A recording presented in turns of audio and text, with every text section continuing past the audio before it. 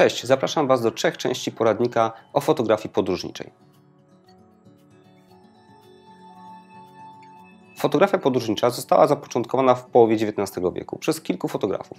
Natomiast ideę tej fotografii kontynuowało znane Wam bardzo dobrze Towarzystwo National Geographic, które powstało w 1888 roku. Fotografia podróżnicza opowiada nam o ludziach, miejscach, o kulturach, religiach na wszystkich kontynentach. Czyli nie ma żadnego ograniczenia geograficznego co do miejsca wykonywania zdjęć podróżniczych.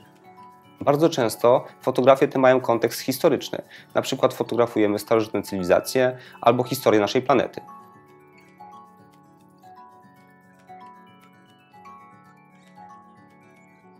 Wydawałoby się, że fotografia podróżnicza jest prosta, że wystarczy wyjechać do egzotycznych krajów i fotografować, ale nie jest to łatwy gatunek. Wymaga dużej wiedzy i doświadczenia zarówno fotografii portretowej, reportażowej, fotografii krajobrazowej, architektury z człowiekiem czy bez człowieka, czy też fotografii dzikiej przyrody.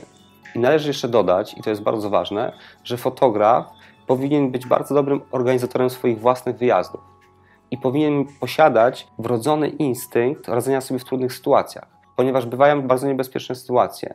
Możemy spóźnić się na samolot, ponieważ było trzęsienie ziemi. Możemy przez przypadek wylądować w slumsach i będziemy musieli sobie poradzić w tej trudnej sytuacji. Dlatego dobrze, aby naszą pierwszą podróż nie odbywać do krajów niebezpiecznych. Podróży powinniśmy tak sfotografować dany kraj, region, zastaną rzeczywistość, nawet tą najbiedniejszą, aby powstałe fotografie sprawiały, że mimo wszystko, albo nawet dlatego, widz będzie chciał odwiedzić to miejsce, a nie skreślał go z mapy. I nie zdziwcie się, że kiedy udacie się do wymarzonego przez Was kraju, zobaczycie inną rzeczywistość niż na obrazkach w kolorowych magazynach. Okaże się, że te piękne zdjęcia to tylko taki niewielki fragment rzeczywistości, którą zobaczycie. Przykładem mogą być piramidy, które fotografowałem.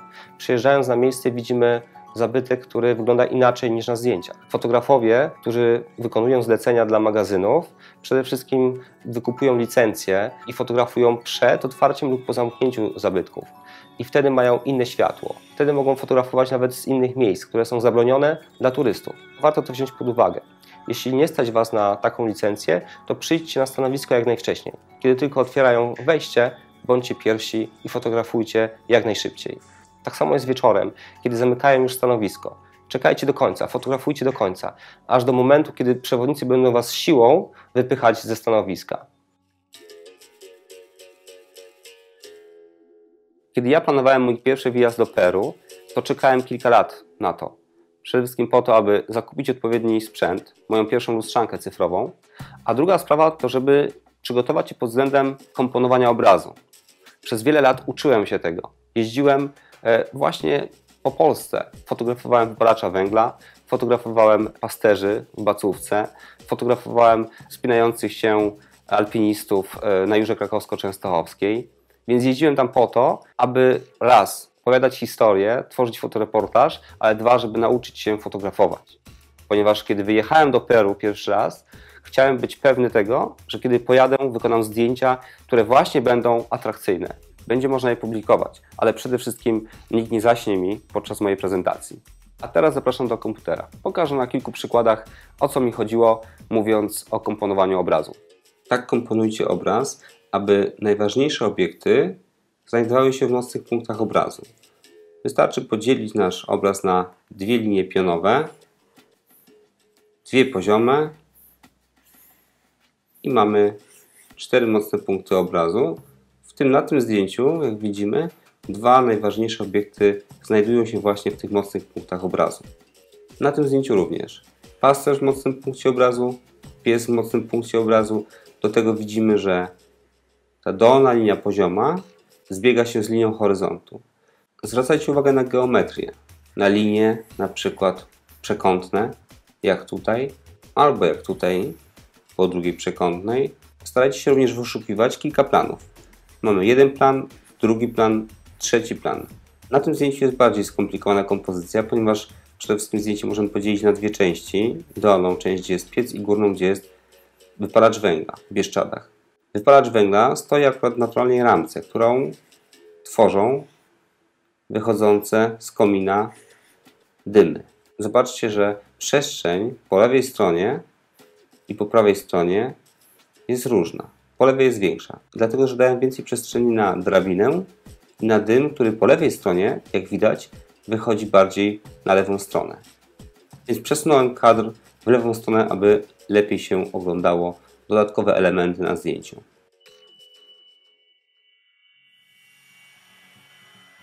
Tematem numer jeden wśród prawie wszystkich początkujących fotografów, ale nie tylko, jest sprzęt.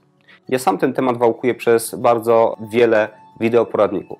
Sprzęt jest bardzo istotny. Jest to taki filtr, przez który przechodzi nasza wizja świata. E, to sprzęt umożliwia nam fotografowanie, to sprzęt umożliwia nam pokazywanie świata tak, jak my go widzimy. Dlatego dobrze jest znać ten sprzęt, znać to, e, jakie efekty przynosi fotografowanie telefonem, kompaktem, bezlusterkowcem, lustrzanką cyfrową, analogową, średnim formatem, wielkim formatem. To wszystko, kiedy poznamy, będziemy mogli wybrać odpowiedni sprzęt do naszej e, fotografii. Ale w tych poradnikach skupiamy się na fotografii podróżniczej, czyli fotografiach kolorowych, ładnie skomponowanych, tak zwanych e, widoczków. Zatem odkładam aparaty analogowe na bok. To jest temat na inny poradnik, natomiast teraz zajmę się pokrótce aparatami cyfrowymi. Pierwszy z nich to Coolpix e, AW120 wodoodporny, wstrząsoodporny do pewnych granic oczywiście, trzeba sprawdzić instrukcję obsługi, natomiast co jest ważne, że jest mały, lekki i możemy go schować do kieszeni. Kiedy fotografujemy kompaktem, pamiętajmy o tym, żeby podszkolić się z obróbki zdjęć, aby móc te zdjęcia ewentualnie później e, podrasować pod względem kontrastu, koloru, czy też odszumić. To jest bardzo ważne, aby potem w postprodukcji przygotować te zdjęcia do prezentacji. Zatem kompakt polecam wszystkim, którzy nie chcą dźwigać ze sobą e, dużych toreb e, ze sprzętem fotograficznym, tylko chcą mieć coś małego, niewielkiego i schować do kieszeni. Oczywiście mam jeszcze telefony, smartfony. Tam matryce i obiektywy są miniaturowe i niestety, ale ta jakość obrazu będzie dużo gorsza niż na przykład w kompakcie czy też w większych aparatach, szczególnie na wysokich e, czułościach, tam gdzie jest mało światła, te zdjęcia będą dużo gorsze. W telefonie nie chodzi o jakość obrazu. Chodzi przede wszystkim o intrygujące i niedoskonałe zdjęcia, które możemy wykonać za pomocą przede wszystkim aplikacji. Ja na przykład korzystałem z aplikacji Hipstamatic. Ja bardzo cenię sobie takie zdjęcia, które właśnie są niedoskonałe. Mają duże ziarno albo są poruszone. Zatem telefon i aplikacja mogą bardzo ciekawie uzupełnić nam nasze zdjęcia z podróży. Mamy jeszcze bezlusterkowce, na przykład Nikona e, One V3. Fotografowałem jednym z nich podczas karnawału w Belgii i świetnie się sprawował podczas fotografowania na ulicy, e, właśnie fotografii podróżniczej.